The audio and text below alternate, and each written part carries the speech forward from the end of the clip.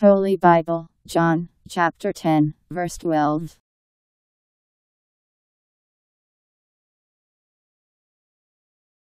He who is a servant, and not the keeper or the owner of the sheep, sees the wolf coming and goes in flight, away from the sheep, and the wolf comes down on them and sends them in all directions.